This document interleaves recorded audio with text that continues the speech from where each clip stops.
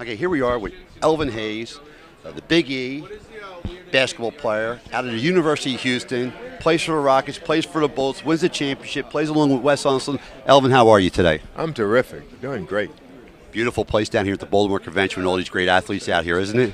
Hey, it, it is really amazing because when I first came to Baltimore in 1972, we played in the old Civic Center, and it wasn't nothing like this. And, and the inner harbor and the way Baltimore have built itself up, it, it's just a great city. Always have been, and I enjoyed playing here when my first two two years up here, and then we moved over to College Park for one year, and then came to Capital Bullets, and then we went over to Landover and came to Washington Bullets.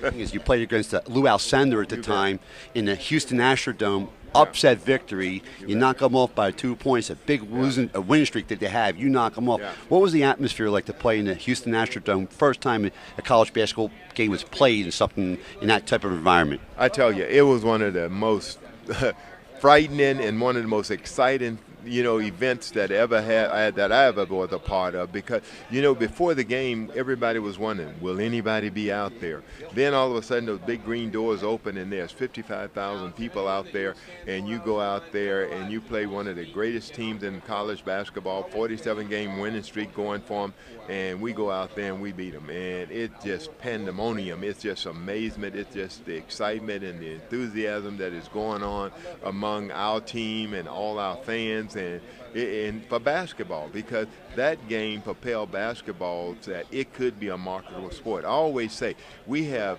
four teams, we have three teams now in the state of Texas, and all three of them have won NBA championship, and it was all due having those teams in, in Texas now because of that UCLA Houston basketball. You're game. talking about San Antonio, Houston Rockets, and the Dallas Mavericks there. Mavericks, yes. Uh, I want to know, uh, Elvin, that uh, when you played with Wes Unseld and you won a championship in the Yeah. NBA, uh, Wes was your guy. Also, uh, Bobby Dandridge being on that bet. team, and uh, I think you played. Did you play with the Pearl at the time? No, I didn't play with played with Earl. Earl. was a year before, Before. I got here. Right, but uh, Bobby Dandridge who won a championship You with the. Bucks You before bet. he won with you. Yeah, you bet. Uh, How special was that championship for you? Because I know you were looking That- for one in the first way.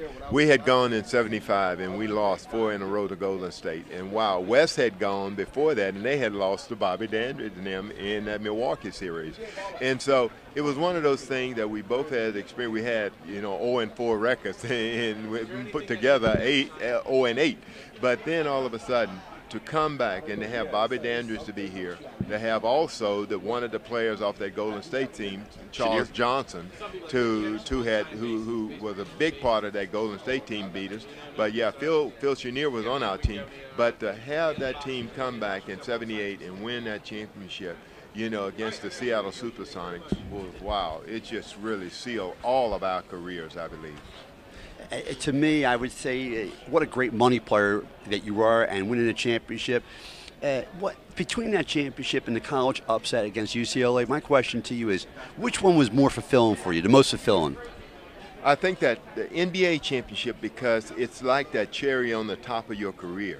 But I think that for that UCLA game, because I came out of Louisiana, here's a kid that name had never been in the paper in Louisiana. We won the state championship over there, and then all of a sudden you come to U- University of Houston, and all of a sudden you're put in one of the biggest games of the century. And and no matter where I travel in the world, people say, "Wow, I was at that UCLA game. I was there." And to propel my career, it it shaped and formed and made, created the Elvin Hayes that won that NBA championship. So I think both games was was had a magnificent uh, played a magnificent was part of my life. And but I think that the UCLA Houston game because it was the beginning. And I think the, the championship game was the was the foundation was built upon to really put me in the Hall of Fame to say, Elvin Hayes, you were one of the greatest basketball players. Last question for you, Elvin. Who's your favorite athlete of all time? Uh, I would say Bill Russell. Okay. Russell won 11 out of 13 years at Player right. Cage in 69 and won a That's the way I championship. see it. Dr. J, Yeah. number six, took it from Yeah. Bill Russell. Yeah. Uh, I'm going to ask you that question now. I just forgot about it. How great was the doctor, would you say?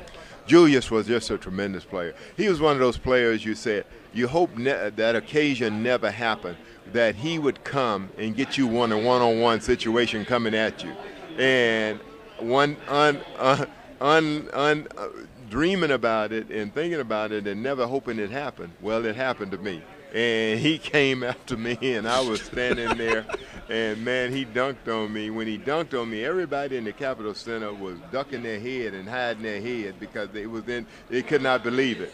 But one of those things, nightmares you hope never came true. Well, it came true against me. Julius was great. Thank you, Alvin. It's a pleasure to have this interview. Thank you so much.